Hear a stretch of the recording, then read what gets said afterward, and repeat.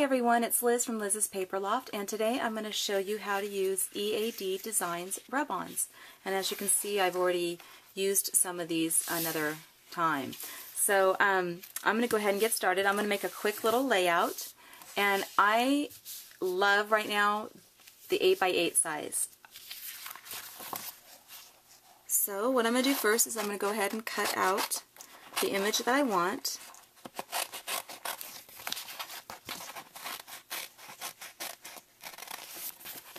You don't have to be precise, just, just get close to it.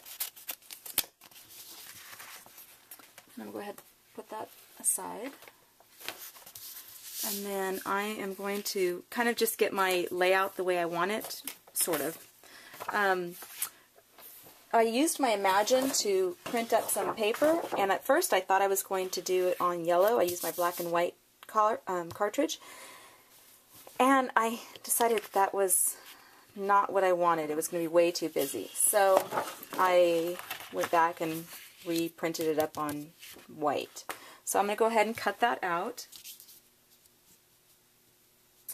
Okay, so now I have my little girl there and my uh, mat. And I'm going to go ahead and mat it again. But I have to cut this one. There we go. So now I have all my sizes the way I want them. So now what I'm going to do is I'm going to go ahead and rub her onto my um, background paper. So what you do first is you score, um, not score it, burnish it. And I just use this little plastic, it's called a little chiseler. And just go ahead and score it or burnish it, I'm sorry. And then you're going to take the back and peel it off carefully and toss that away. And now I'm going to go ahead and put her on here. And I'm going to leave a little space at the bottom because I want it, I think I'm going to add a little stitching. So I don't want her right there on the edge of the paper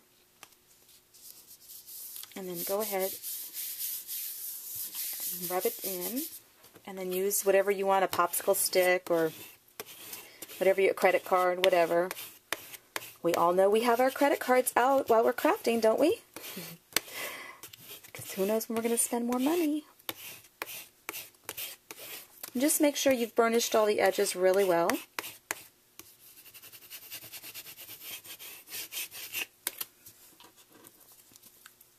And then you can kind of test it. Make sure. Now I'm using a textured um, cardstock so I really want to make sure that I do it. And then kind of go at oops see I didn't get her hair.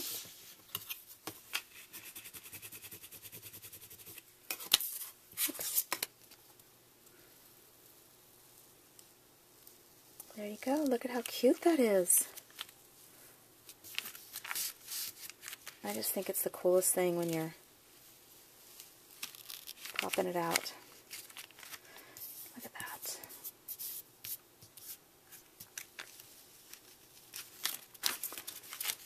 Oops.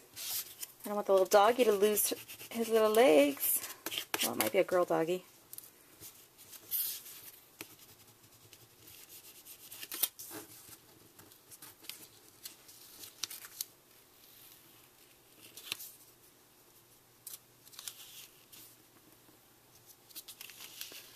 Okay, look at that.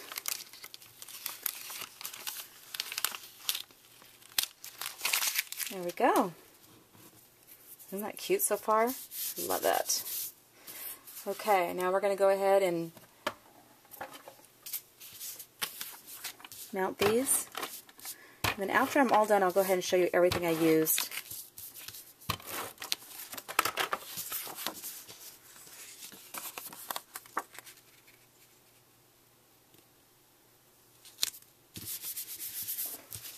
Okay, I think I'm going to add some ribbon to it. I think that's going to look cute right there. And I'm going to go ahead and just This is how I do ribbon sometimes when I'm doing on a picture so I don't waste it and I don't go all the way around. Nothing new. You guys all know how to do this.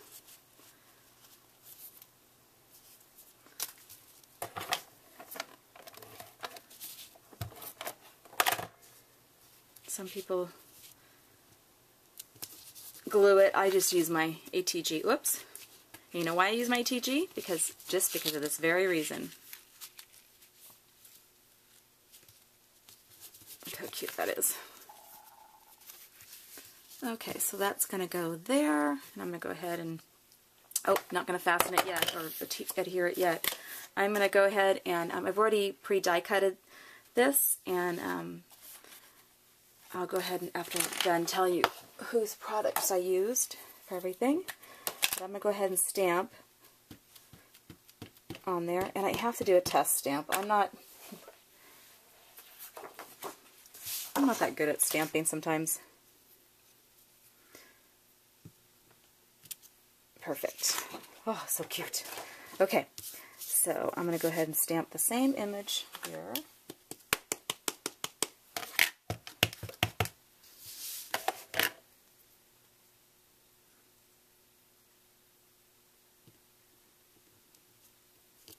Least with this die, the way I'm going to use it, I have two chances. there you go. Oh, look at that. Isn't that cute?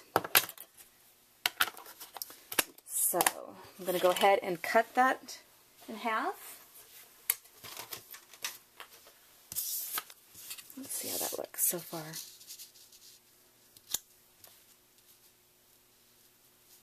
Oh, that's so cute so far. But it's still missing a few things.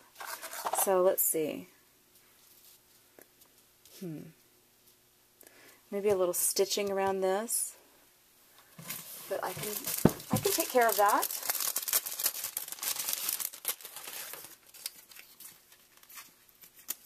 Now, let's see if I don't ruin it this time by doing this. Okay, so this was kind of an afterthought.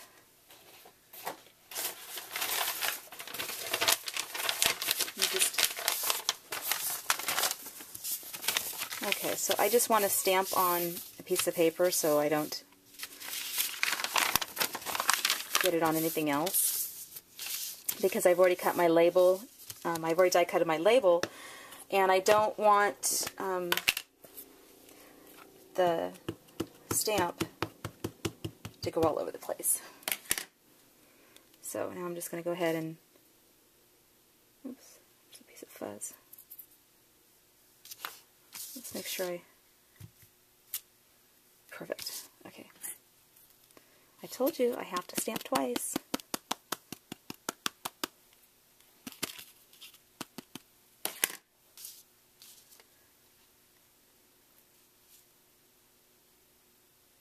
Okay. I think I'm close. Oops, there we go. Oh, that makes all the difference in the world, doesn't it? Okay, so now I've got my little girl, my rub-on little girl and doggy.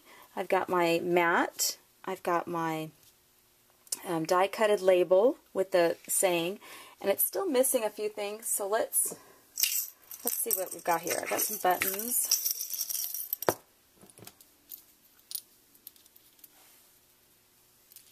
Yeah, it might just need a button. Okay. So I think I'm going to go ahead and um, adhere this on.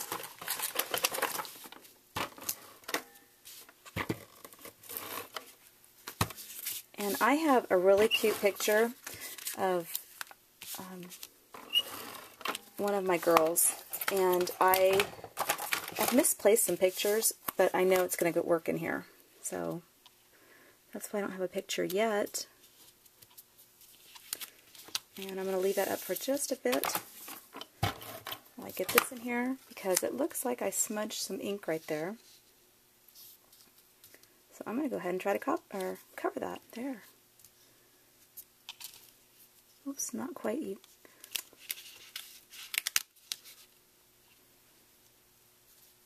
there we go. Okay, so it still needs something. I think it needs a little ribbon.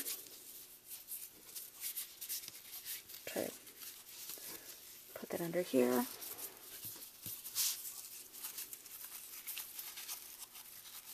I don't know if I want to tie a bow or not.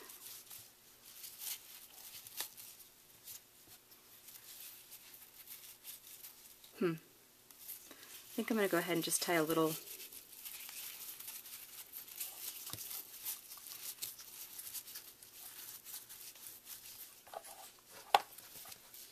little knot with a, yep, that's what I'm doing. Okay, grab my scissors. And I think I'm going to go ahead and do a notched one.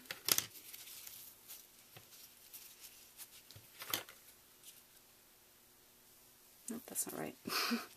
I almost messed that up. There we go. Use a little ribbon from Divine, or a little bit of um, Divine Twine twine, and this came from Whisker Graphics. Yeah. I wonder if I can get away with just using that piece. Let's see.